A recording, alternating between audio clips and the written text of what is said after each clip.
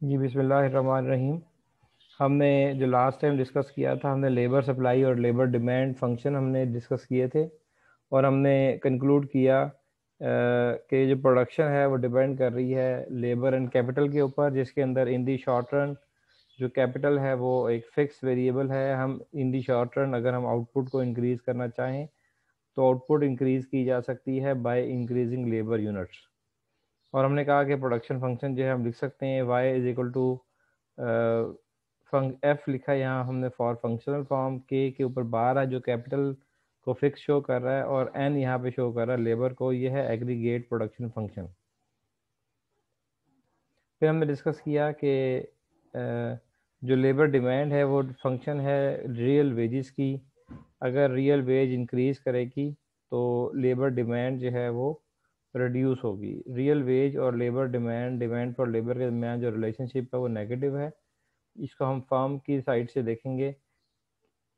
तो ये भी हमने लेबर सप्लाई और लेबर डिमांड स्केजुअल लास्ट में हमने किया। नेक्स्ट आगे चलते हैं लेबर सप्लाई जो सप्लाई फॉर लेबर है वो भी डिपेंड कर रही है रियल वेज के ऊपर।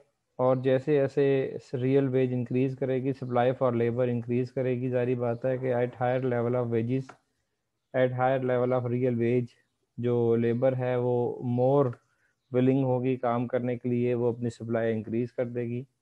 तो ये इससे कंसर्न है लेबर वाली साइड से लेबर सप्लाई फ़ंक्शन जो है। और इक्लिब्रियम मार्केट में किस, कहाँ पे होगा लेबर मार्केट में इक्लिब्रियम किस पॉइंट पर होगा? जहाँ पर डिमांड फॉर लेबर इक्वल होगी सप्लाई फॉर लेबर के। इसको हम आगे ग्राफिकली हम इसको ड्रॉ करके देख सकते हैं कि ये इक्लिब्रियम पॉइंट कैसा है।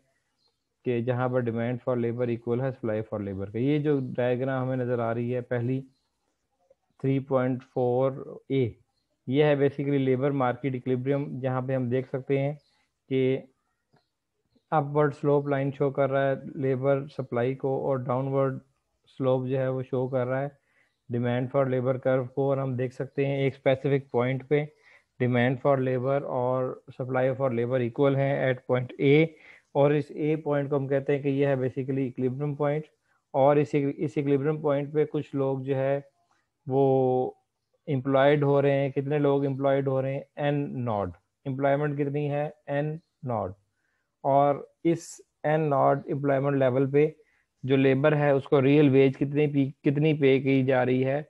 डब्ल्यू ओवर पी नॉट ये रियल वेज का लेवल है डब्ल्यू ओवर पी नॉट और एन नॉट जो है वो क्या है? लेबर की सप्लाई और लेबर डिमांड जिस पॉइंट पर इक्वल है means equilibrium labour employment equilibrium employment है एन नॉट तो हम इसमें डिस्कस करते हैं नेक्स्ट जो है हमारा, वो है जी कि हम कैसे डिटरमिन कर सकते हैं इक्लिब्रियम आउटपुट और एम्प्लॉयमेंट को।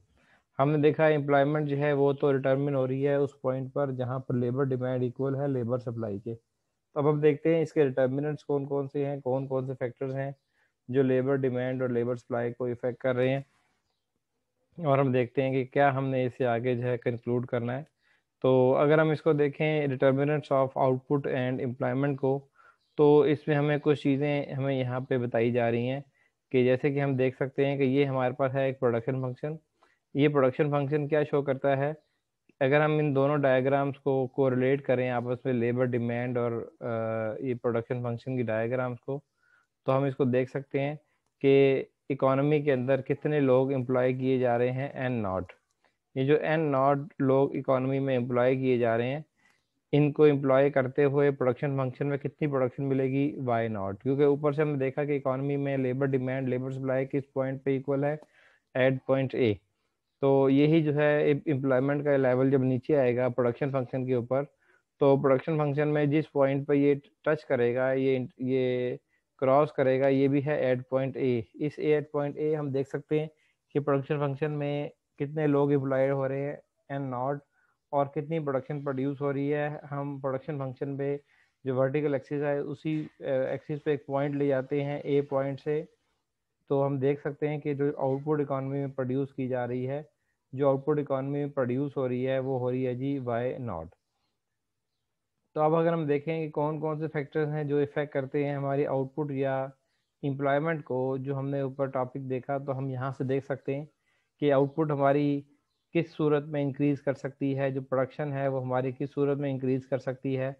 तो प्रोडक्शन हमारी इंक्रीज होने का अगर हम देखें तो हमारे पास इस डायग्राम में कुछ हैं इंडोजिनस वेरिएबल्स कुछ हैं एक्सोजिनस वेरिएबल्स हमारी इस लेबर डिमांड लेबर सप्लाई या लेबर मार्केट में एक्सोजिनस और इंडोजिनस वेरिएबल्स कौन कौन से हैं, हम इसके ऊपर डिस्कशन करते हैं। जो हमने प्रोडक्शन फ़ंक्शन देखा, इस प्रोडक्शन फ़ंक्शन में एंडोजिनस या एक्सोजिनस वेरिएबल्स कौन कौन से हैं, वो हम देखते हैं। सबसे पहले हम ये समझ लें कि एंडोजिनस या एक्सोजिनस वेरिएबल्स कौन कौन से होते हैं। एंडोजिनस वेरिएबल्स हम उन्हें कहते हैं कि ऐसे वेरिएबल्स जो within the model explain हो रहे होते हैं और एक्सोजिनस वेरिएबल्स ऐसे होते हैं, जो आउटसाइड द मॉडल जो है, हमारी जो फ़ंक्शन है, उसको इफ़ेक्ट कर रहे होते हैं, ये हमारे मॉडल पे आउटसाइड जो है द मॉडल इफ़ेक्ट कर रहे होते हैं। सब कहते हैं कि ये एक्सटर्नल वेरिएबल्स हैं, जो हमारे मॉडल को इफ़ेक्ट करते हैं। लेट्स सपोज़ हमारे यहाँ पे मॉडल कौन सा है? हम इस वक्त डिस्कस कर रहे हैं लेबर मार्केट इक्लिब्रियम ये है लेबर मार्केट मॉडल तो ये जो लेबर मॉडल है, इसमें हम देख सकते हैं कि इक्लिब्रियम किस पॉइंट पर होता है, जहाँ लेबर डिमांड इक्वल होती है लेबर सप्लाई के, और वो किस पॉइंट पर इक्वल है एट पॉइंट ए तो अब हम देखें कि हमारे पास इस लेबर लेबर मॉडल में जहाँ पर लेबर सप्लाई और लेबर डिमांड कर्व हैं, यहाँ पे हमारे पास एंडोजिनस वेरिएबल्स कौन कौन से हैं? यहाँ पे एंडोजिनस वेरिएबल्स वही हैं जो हमारे पास वर्टिकल और हॉरिजेंटल एक्सिस पे नज़र आ रहे हैं। जैसे कि हमारे पास वर्टिकल और हॉरिजेंटल एक्सिस पे वेरिएबल्स कौन कौन से हैं? हॉरिजेंटल एक्सिस पे जो वेरिएबल है वो है एन मींस एम्प्लॉयमेंट मींस ये जो है एम्प्लॉयमेंट ये विद इन दी मॉडल हमें नज़र आ रहा है मॉडल के अंदर हमें नज़र आ रहा है तो ये ये वेरिएबल कौन सा है? इसे हम कहते हैं कि ये है एंडोजिनस वेरिएबल फिर जो वर्टिकल एक्सिस से वेरिएबल नज़र आ रहा है, वो कौन सा है? वो है जी W over P means real wage ये जो रियल वेज है, ये भी विद इन दी मॉडल हमें नज़र आ रही है. रियल वेज तो हम इसे कहते हैं कि जो रियल वेज है, ये भी हमारे पास एक वेरिएबल है. एंडोजिनस वेरिएबल क्योंकि ये विद इन दी मॉडल यहाँ पे हमें नज़र आ रहा है।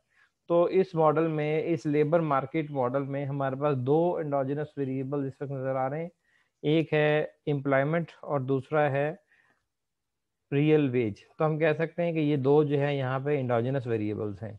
तो अगर इन दो इंडोजिनस वेरिएबल्स में किसी किस्म का कोई चेंज आएगा तो ये जो कर्व है, इसके अंदर हमारे पास मूवमेंट होगी, इसके अंदर शिफ्टिंग नहीं आएगी। क्योंकि इंडोजिनस वेरिएबल्स हैं वो जस्ट मूव करते हैं एक पॉइंट से दूसरे पॉइंट पे एक कर्व को। लेट्स हम कहते हैं कि अभी हमने लिया real wage W over P naught और हमने देखा कि डब्ल्यू ओवर पी नॉट पे कितनी एम्प्लॉयमेंट है। तो हमने देखा कि ए पॉइंट पे ये वो पॉइंट है जहाँ पे इंटरसेक्ट कर रहे थे। तो इस इंटरसेक्शन पॉइंट पे एम्प्लॉयमेंट है एन नॉट लेकिन अगर मैं पूछूँ कि हम इस रियल वेज को इंक्रीज या डिक्रीज करें, अगर हम इस रियल वेज को थोड़ा सा इंक्रीज या डिक्रीज करें और इंक्रीज या डिक्रीज करके अगर हम देखना चाहें कि हमारे पास एम्प्लॉयमेंट के ऊपर कोई चेंज आ रहा है या कोई चेंज नहीं आ रहा तो उसको भी हम यहाँ पे देख सकते हैं। हम सपोज़ करते हैं कि लेट सपोज़ हमने देखा कि ये जो एक रियल वेज है एक मिनट हम ये देखते हैं कि लेट सपोज़ ये, यही चीज़ हम देखना चाहते हैं कि ये मूवमेंट अलॉन्ग द कर्व और शिफ्टिंग में क्या फ़र्क है। हमने कहा कि इंडोजिनस वेरिएबल में जब कोई चेंज आएगा तो उसकी वजह से मूवमेंट अलोंग दी कर्व होगी। लेट सपोज़ अभी हम डब्ल्यू ओवर पी नॉट अगर रियल वेज हो तो कितनी एम्प्लॉयमेंट है? तो एम्प्लॉयमेंट है जी एन नॉट अब हम सपोज़ करते हैं कि वेजेस जो हैं वो कम हो गई हैं। हम सपोज़ कर रहे हैं कि वेजेस कम भी हो सकती हैं वेजेस इंक्रीज भी हो सकती हैं। और वेजेस कम जो ज़्यादा ज़्यादा होने से हम देख सकते हैं कि अब एम्प्लॉयमेंट के ऊपर क्या चेंज आ रहा है। तो अब हम सपोज़ करते हैं कि वेजेस जो है वो कम होके हो चुकी हैं। डब्ल्यू ओवर पी नॉट से वेजेस कम हुई हैं। तो ये एक मैंने पॉइंट यहाँ पे ड्रॉ किया। इस पॉइंट पे हम देख सकते हैं कि इस पॉइंट पे जो हमारे पास यहाँ पे नज़र आ रही है तो हमने एक लाइन ड्रॉ की। हमने यहाँ पे सपोज़ किया कि रियल वेज जो है डब्ल्यू और पी नॉट से कम हो गई है।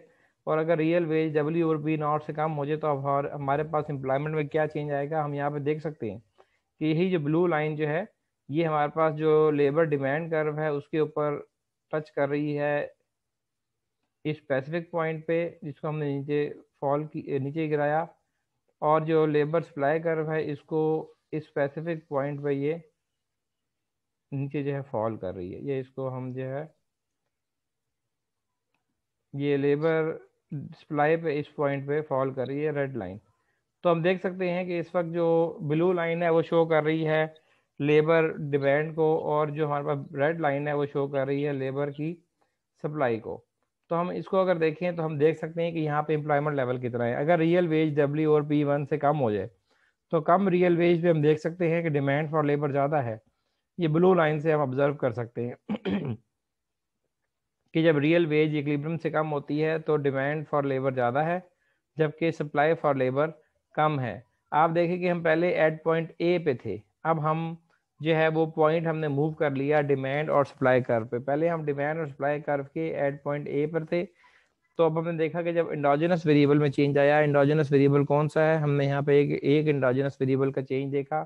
हमने कहा कि रियल वेज जो है वो इंडोजिनस वेरिएबल है, जिसकी वजह से हमने देखा कि यहाँ पे इस चेंज की वजह से इंडोजिनस वेरिएबल रियल वेज के कम होने की वजह से हमने देखा कि अब जो है पॉइंट्स जो है सेम डिमांड और सप्लाई कर पे चेंज हो गए। पहले एट पॉइंट ए पे था अब हम देख रहे हैं कि डिमांड कर पे ये पॉइंट है ब्लू लाइन वाला, और जो सप्लाई कर्व है उससे पॉइंट डिफरेंट है। हम देख सकते हैं कि at low real wages demand for labour is higher than the supply for labour supply for labour red line से शो हो रही है, और डिमांड फॉर लेबर जो है ब्लू लाइन से शो हो रही है। और हम देख सकते हैं कि डिमांड फॉर लेबर जो है वो ज़्यादा है as compare to supply for labour तो हमने देखा कि ये है इफ़ेक्ट ऑफ़ इंडोजिनस वेरिएबल तो वो क्या इफ़ेक्ट है जी कि just movement along the curve है कर्व शिफ्ट नहीं हुई। जब भी इंडोजिनस वेरिएबल में चेंज आएगा तो मूवमेंट अलॉन्ग द कर्व होगी। तो अब हम देख सकते हैं कि इंडोजिनस वेरिएबल में चेंज आने की वजह से कर्व शिफ्ट नहीं हुई। जस्ट पॉइंट चेंज हो गए पहले ए पॉइंट था, अब हम देखा कि डिमांड और सप्लाई कर्व पे पॉइंट जो है वो डिफरेंट है। तो हम इसको इसी तरह से ऊपर हायर वेजेस पे भी ड्रॉ कर सकते हैं कि हम सपोज़ करते हैं कि जो जो वेजेस हैं वो लेट्स सपोज़ पहले से इंक्रीज कर गई हैं।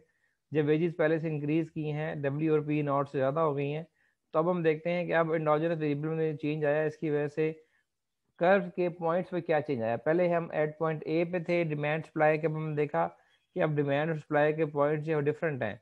हमने एक पॉइंट जो है यहाँ से ड्रॉ किया डिमांड कर्व पे एट हायर रियल वेजेस और हमने एक पॉइंट जो है ये हमने सप्लाई के ऊपर ड्रॉ किया रेड लाइन और अब हम ड्रॉ कर रहे हैं डिमांड फॉर लेबर कर्व के साथ तो हम देख सकते हैं कि जैसे जैसे इंक्रीज की है, जैसे ही इंक्रीज की है रियल वेज तो उसकी वजह से क्या हुआ कि रेड लाइन शो कर रही है कि सप्लाई फॉर लेबर बढ़ गई है at higher real wages supply for labour increase हो गई है, जबकि एट हायर रियल वेजेस जो डिमांड फॉर लेबर है कम होगी ब्लू लाइन से देख सकते हैं।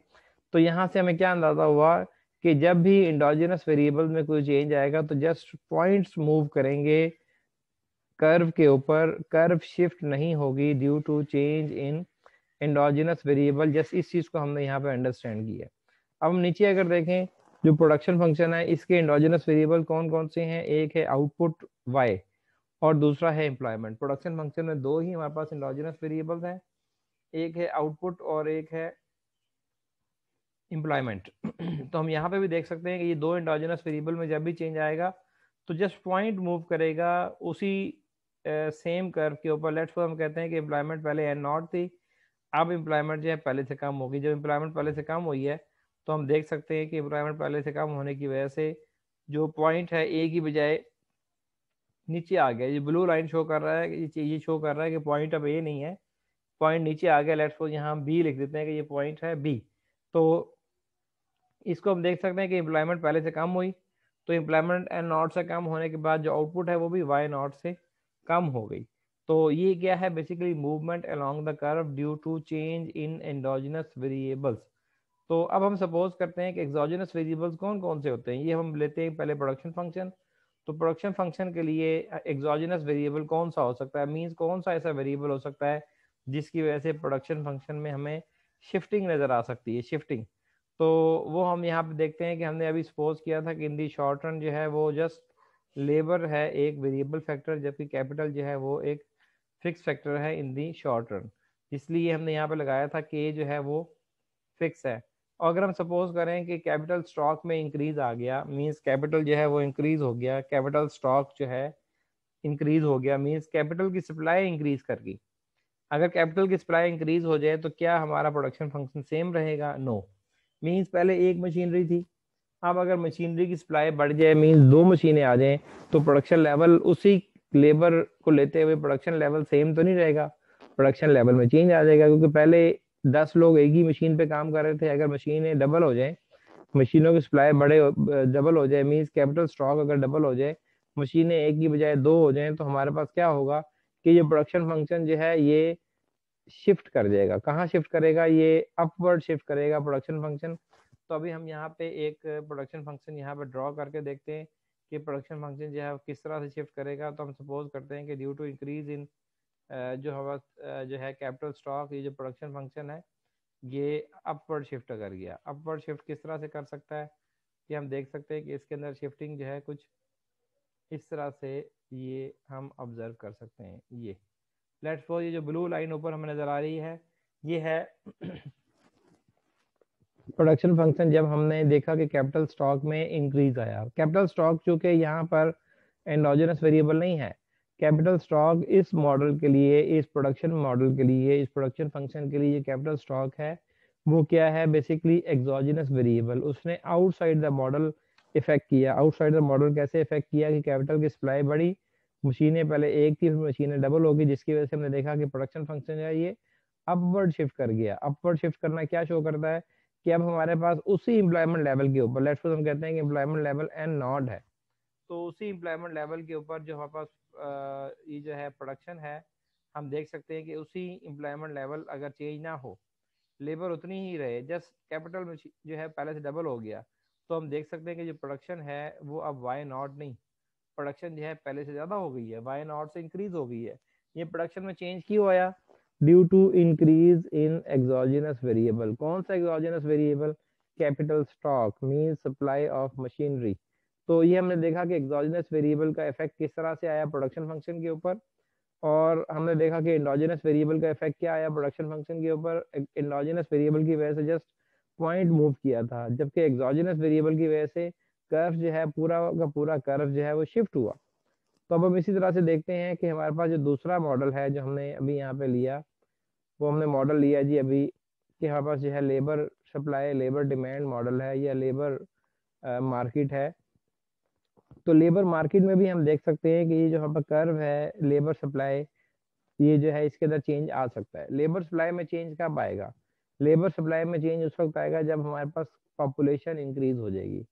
यहाँ पे जो हमारे पास इंडोजनस वेरिएबल है, वो कौन कौन से हैं? एक एम्प्लॉयमेंट और दूसरा इंडोजनस वेरिएबल है वेजेस तो हमारे पास यहाँ पर अगर हम देखें तो हमारे पास लेबर मार्केट में कर्व किस सूरत में शिफ्ट हो सकता है? कर्व उस सूरत में शिफ्ट हो सकता है कि अगर पॉपुलेशन ग्रोथ हो जाए। मीन्स इकॉनमी में पहले पॉपुलेशन कम थी, अब पॉपुलेशन जो है इकोनॉमी में पहले से इंक्रीज हो चुकी है। अब इस वजह से क्या होगा? पॉपुलेशन इंक्रीज होने की वजह से जो हमारे पास लेबर की सप्लाई है, वो पहले से इंक्रीज हो जाएगी। और अगर आप देखें तो पॉपुलेशन इस लेबर मार्केट मॉडल में एक्सोजिनस वेरिएबल है। यहाँ पर पॉपुलेशन जो है एंडोजिनस वेरिएबल नहीं है। एंडोजिनस वेरिएबल सिर्फ़ दो हैं। लेबर की एम्प्लॉयमेंट और रियल वेज यहाँ पे पॉपुलेशन जो है वो कौन सा वेरिएबल है? एक्सोजिनस वेरिएबल जिसकी वजह से जो लेबर्स की सप्लाई है उसमें इंक्रीज आएगा।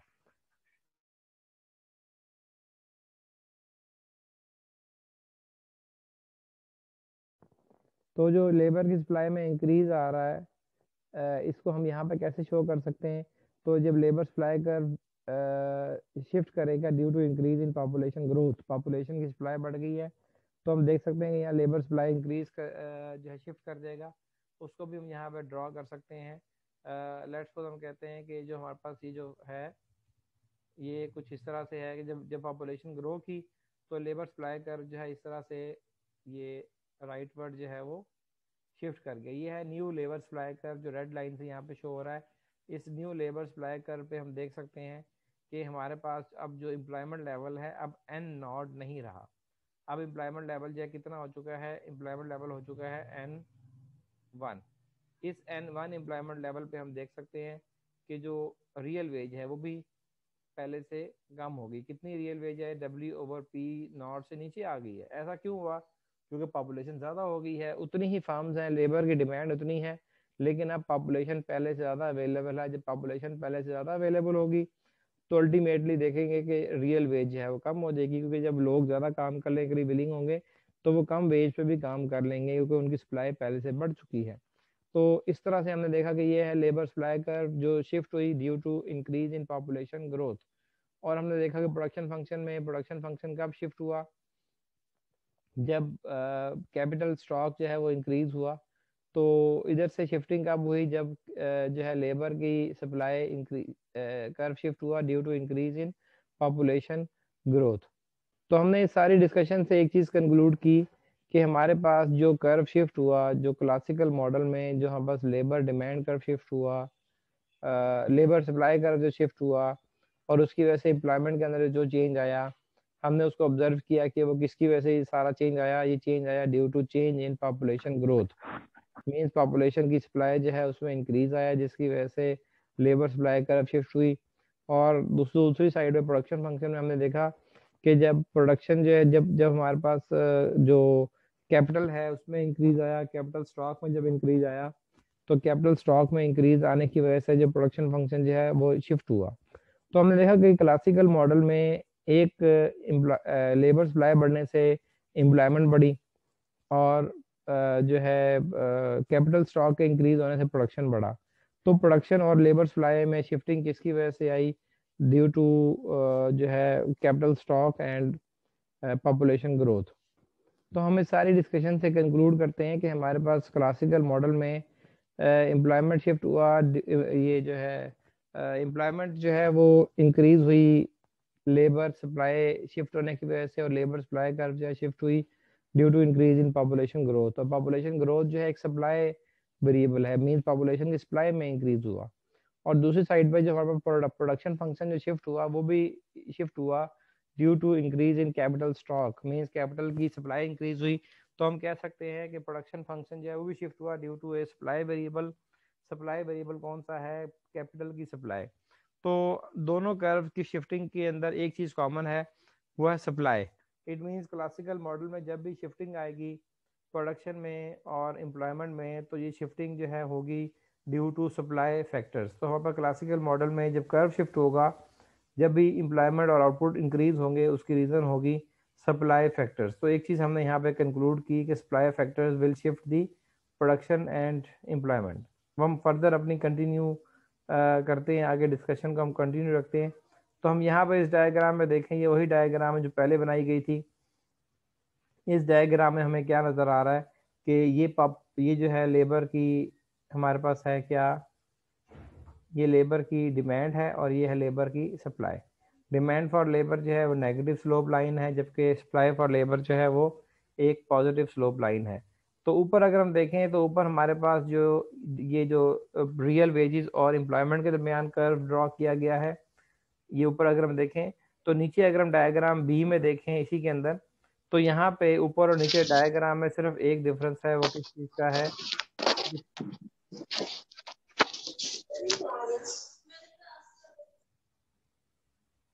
ऊपर और नीचे डायग्राम में सिर्फ़ एक डिफरेंस है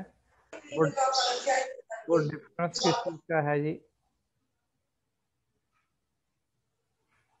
वो डिफरेंस हमें नज़र आ रहा है कि ऊपर ली गई हैं रियल वेजेस वर्टिकल एक्सिस पे और नीचे वाली डायग्राम में जो हमारे पास लिया गया है, वो ली गई है जी nominal wages on vertical axis तो इन दोनों को अगर हम देखें, इस डिफरेंस को देखें तो ये डिफरेंस हम किस तरह से अंडरस्टैंड कर सकते हैं?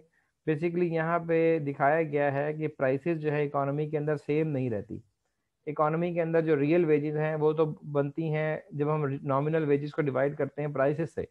और प्राइसेस इकोनॉमी के अंदर कभी भी सेम नहीं रहती प्राइसेस के अंदर चेंज आता चला जाता है। तो जब भी प्राइस में चेंज आएगा तो जो रियल वेज है, वो चेंज हो जाएगी। जब रियल वेज में चेंज आएगा तो उसकी वजह से डिमांड फॉर लेबर और सप्लाई फॉर लेबर के अंदर भी चेंज आएगा। तो अब हम अगर हम यहाँ पे देखें तो हम यहाँ पे देख सकते हैं कि इस जो हमने नीचे वाला मॉडल लिया है, इसके अंदर हमने नॉमिनल वेज ली है वर्टिकल एक्सिस पे और हमने हॉरिजेंटल एक्सिस पे ली है एम्प्लॉयमेंट और ऊपर वाली डायग्राम में हमने ली है real wage on vertical axis और एम्प्लॉयमेंट ली है हमने हॉरिजेंटल एक्सिस पे। तो इसको हम देखते हैं कि अब हम यहाँ पे नीचे वाले डायग्राम में हमें डिफरेंट शिफ्टिंग नज़र आ रही है, इसको हम वन बाय वन देखते हैं। कि सबसे पहले हम देख सकते हैं कि इक्लिब्रियम जो है वो इस पॉइंट पर है।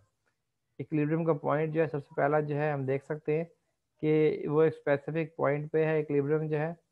तो इक्लिब्रियम हम देख सकते हैं कि ये जो है, हमारे पास एक इक्लिब्रियम पॉइंट है।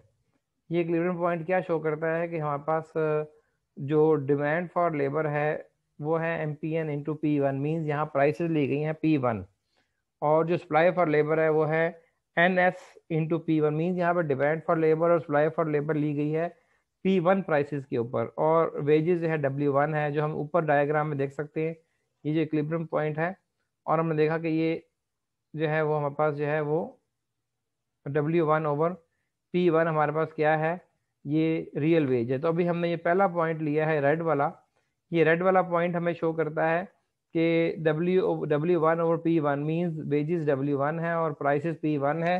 तो एक तो हमारे पास जो सप्लाई फॉर लेबर कर्व है, वो एन एस पी वन है और डिमांड फॉर लेबर कर्व है M P N into P one अब क्या हुआ इकोनॉमी के अंदर? कि इकोनॉमी के अंदर प्राइसेस जो हैं वो इंक्रीज कर गई। जब प्राइसेस इंक्रीज हुई मींस प्राइसेस डबल हो गई। पहले प्राइस पी वन थी, अब प्राइस हो गई है टू पी वन जब टू पी वन प्राइस हुई मींस प्राइस डबल होगी तो हमने क्या देखा? कि अब वेज जो है वो वही है डब्ल्यू वन जबकि प्राइस है टू पी वन तो अब इस डब्ल्यू वन वेज के ऊपर मीन नॉमिनल वेज कितनी है? डब्ल्यू वन और प्राइस है पहले से डबल तो अब क्या हो जाएगा? रियल वेज रियल वेज हो जाएगी हमारे पास W one over two P one इस W one over two P one पे अगर हम देखें तो क्या चेंज आएगा? कि हमारे पास जो सप्लाई फॉर लेबर कर्व है, जो सप्लाई फॉर लेबर जो है, वो अब क्या हो जाएगी? कम हो जाएगी। जारी बात है रियल वेज पहले से कम हो गई है। एट लो रियल वेजेस जो है वर्कर की सप्लाई कम हो जाएगी। तो हमने देखा कि जो सप्लाई फॉर लेबर कर्व जो है, ये एन एस पी वन से शिफ्ट कर गया लेफ़्ट साइड पे N S two P one पे। जब supply for labour curve shift किया लेफ़्ट साइड पे N S two P one पे तो हमने देखा कि अब जो है इक्लिब्रियम पॉइंट जो है, वो पहले से चेंज हो गया। अब हम देख सकते हैं कि उसी रियल उसी वेज के ऊपर डब्ल्यू वन वेज के ऊपर इसी डब्ल्यू वन वेज के ऊपर जो new supply for labour curve है सप्लाई कितनी है लेबर की? एन टू प्राइम जबकि इस wage W one over price two P one के ऊपर जो लेबर की डिमांड है, वो पहले से इंक्रीज करके जारी बात है कि जब रियल वेज कम हुई है तो जो फॉर्म्स हैं, उन्होंने तो लेबर की डिमांड जो है, वो इंक्रीज कर दी। जब लेबर की डिमांड उन्होंने इंक्रीज की तो हमारे पास हमने क्या देखा कि जो लेबर डिमांड कर था वो भी शिफ्ट कर गया from M P N P one से M P N two P one के ऊपर। जब ये शिफ्टिंग हुई डिमांड फॉर लेबर कर्व की भी तो हमने देखा कि जब डिमांड फॉर लेबर कर्व ये लेफ़्ट साइड से राइट साइड में मूव किया तो अब इसने इंटरसेक्ट किया उसी पॉइंट के ऊपर जो कि हमारे पास था। इसने इंटरसेक्ट किया न्यू लेबर सप्लाई के ऊपर। न्यू लेबर सप्लाई कौन सी थी? N S two P one price double के ऊपर।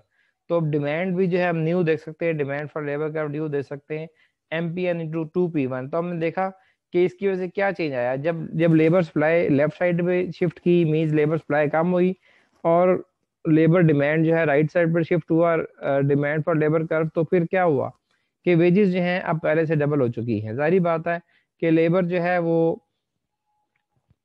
at at higher level of price level labour जो है काम करने के लिए विलिंग कम हो गई थी, जिसकी वजह से लेबर सप्लाई जो है कम हुई और उस लो रियल वेज के ऊपर लेबर की डिमांड इंक्रीज कर गई जब लेबर की डिमांड इंक्रीज की तो फर्म्स को हाई रियल हाई जो है वो वेजेस पे करना पड़ी, जिसकी वजह से जो वेजेस हैं वो हो गई टू डब्ल्यू वन और प्राइसेस जो है वो पहले ही टू पी वन थी। तो हमने देखा कि अब इससे क्या चेंज आया कि हमारे पास एम्प्लॉयमेंट लेवल वही पहले वाला रहा एन वन जो एम्प्लॉयमेंट लेवल पहले वाला था, ये वही सस्टेन हो गया, दोबारा वही जो है वो इक्लिब्रियम जो है वो प्रीवेल कर रहा है, जो कि डब्ल्यू वन और P one base real base के ऊपर था। अब भी वही जो है हमारे पास एम्प्लॉयमेंट लेवल है two W one over two P one वाला। तो अब हुआ क्या कि प्राइसेस के डबल होने से वेजेस भी डबल हो गई और एम्प्लॉयमेंट लेवल जो है वो वही रहा एन वन तो हमने देखा कि प्राइसेस जो है वो पी वन से पी टू होगी। अब हम सपोज़ करते हैं कि प्राइसेस और इंक्रीज करेगी। जब प्राइसेस में मजीद इंक्रीज आया तो हमने देखा कि प्राइसेस जो हैं वो टू पी वन से थ्री पी वन हो गई। प्राइसेस जो हैं वो टू पी वन से क्या हो गई? थ्री पी वन और प्राइसेस टू पी वन से थ्री पी वन होने के बाद जो लेबर की सप्लाई है, वो और कम हो गई। कितनी होगी लेबर सप्लाई कर जो है मजीद लेफ़्ट पर शिफ्ट कर गया N S three P one के ऊपर। और अब इसकी वजह से हमने देखा कि रियल वेज कम हुई है। जब रियल वेज कम होती है तो लेबर की जो डिमांड है, वो इंक्रीज कर जाती है, जिसकी वजह से डिमांड फॉर लेबर का जो है, वो राइट वर्ड शिफ्ट हुआ M P N into three P one तो अब क्या हुआ कि अब न्यू इक्विलिब्रियम पॉइंट हमारे पास आ गया, वो ये वाला पिंक कलर से हमारे पास न्यू इक्विलिब्रियम पॉइंट यहाँ पे शो हो रहा है।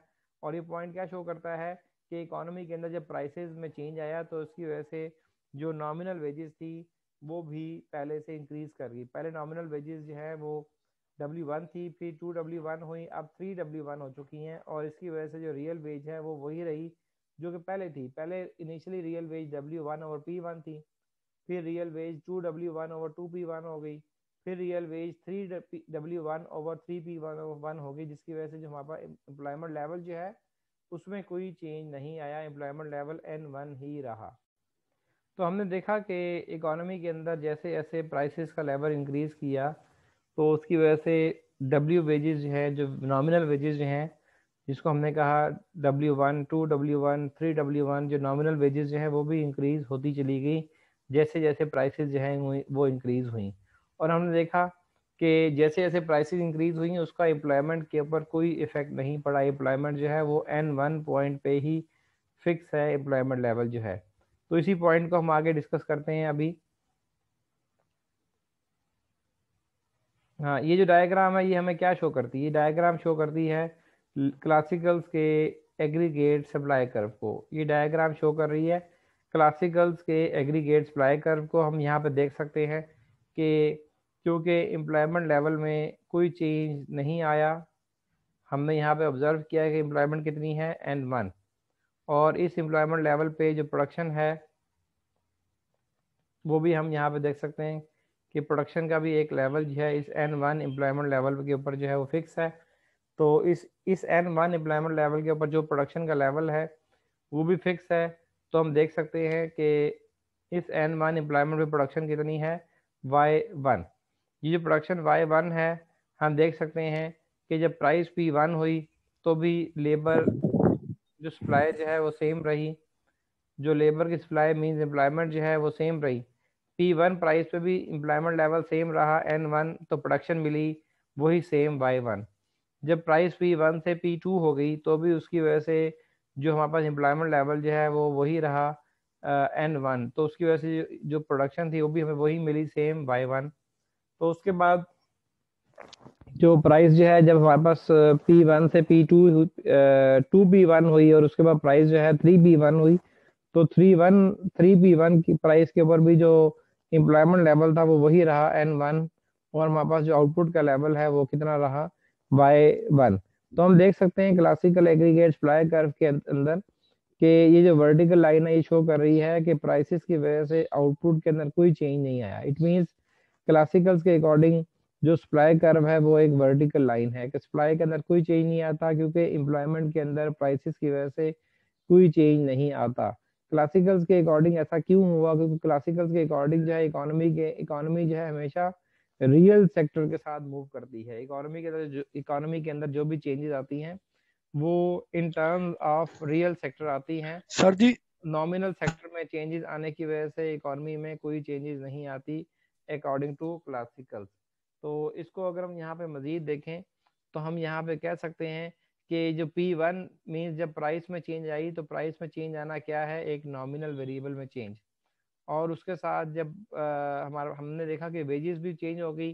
प्राइस जब टू पी वन हुई तो वेजेस कितनी हो गई? टू डब्ल्यू वन तो प्राइस टू पी वन होने के बाद वेजेस टू डब्ल्यू वन हुई जिसकी वजह से जो हमारे पास एम्प्लॉयमेंट लेवल है उसमें चेंज नहीं आया। एम्प्लॉयमेंट लेवल वही रहा एन वन और जब एम्प्लॉयमेंट लेवल वही है तो हमारे पास आउटपुट का लेवल है वो भी चेंज नहीं हुआ। वो भी वही रहा। बाय वन हमने इस डिस्कशन में क्या कंक्लूड किया? हमने इस डिस्कशन में कंक्लूड किया कि जैसे जैसे प्राइसेस इंक्रीज हुई तो उसके साथ साथ नॉमिनल वेजेस भी इंक्रीज होती चली गई और उसकी वजह से एम्प्लॉयमेंट लेवल के ऊपर कोई चेंज नहीं आया और जो आउटपुट थी आउटपुट के ऊपर भी कोई चेंज नहीं आया due to change in nominal variables classical के अकॉर्डिंग जब भी नॉमिनल वेरिएबल्स में चेंज आता है तो उसकी वजह से रियल वेरिएबल जो है वो अनएफेक्टेड रहते हैं और इकोनॉमी के ऊपर किसी किस्म का कोई इफ़ेक्ट नहीं आता अकॉर्डिंग टू क्लासिकल जब नॉमिनल वेरिएबल में चेंज आता है। नॉमिनल वेरिएबल कौन कौन से हैं? प्राइस प्राइस एक नॉमिनल वेरिएबल है। और नॉमिनल वेरिएबल कौन सा है? नॉमिनल वेज डब्ल्यू डब्ल्यू जो है। डब्ल्यू एक नॉमिनल वेरिएबल है। तो रियल वेरिएबल कौन सा है? W over P W over P जो है, ये रियल वेरिएबल है जब हमने उसको प्राइस से डिवाइड किया। तो अब ये रियल वेज है, ये रियल वेरिएबल है। तो इस तरह से हमने देखा कि नॉमिनल वेरिएबल में चेंज आने की वजह से रियल वेरिएबल जो हैं वो अनएफेक्टेड रहते हैं एज अकॉर्डिंग टू क्लासिकल्स तो अब फैक्टर्स कौन कौन से हैं जो आउटपुट को इफ़ेक्ट नहीं करते? जैसे कि हमने अभी यहाँ पे बात की कि शुरू शुरू में कि क्लासिकल मॉडल के अंदर सिर्फ़ जो शिफ्टिंग होगी वो ड्यू टू होगी सप्लाई फैक्टर्स जो डिमांड फैक्टर्स हैं वो आउटपुट को इफ़ेक्ट नहीं करेंगे इन क्लासिकल मॉडल जो आउटपुट को इफ़ेक्ट करेंगे इन क्लासिकल मॉडल वो, वेरिएबल होंगे जस्ट सप्लाई फैक्टर्स जैसे कि हमने ऊपर डिस्कशन में बात की तो लेट्स सपोज़ हम कहते हैं कि डिमांड फैक्टर्स कौन कौन से हैं? Quantity of money government spending demand for investment goods business sector की डिमांड जो है ये चूँकि डिमांड फैक्टर है इनका आउटपुट एंड एम्प्लॉयमेंट के ऊपर कोई इफ़ेक्ट नहीं आएगा in classical model. Classical model में आउटपुट और एम्प्लॉयमेंट पे इफ़ेक्ट कौन से वेरिएबल्स का होगा, जो कि होंगे सप्लाई वेरिएबल्स। तो इस तरह से ये चैप्टर है चैप्टर थ्री जो है, ये कंप्लीट होता है।